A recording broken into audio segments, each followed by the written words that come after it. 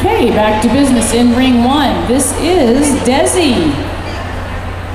This is also Desi's retirement run, so that's a good hand for Mr. Desi as he comes through his last agility run. And as in true Desi form, he's doing it his way. At 13 and a half, Desi is probably one of the oldest dogs at the Invitational. He has been to every Invitational since its inception. He has had a very long and rewarding career. Pam Shelby is his handler and owner from Beaumont, California.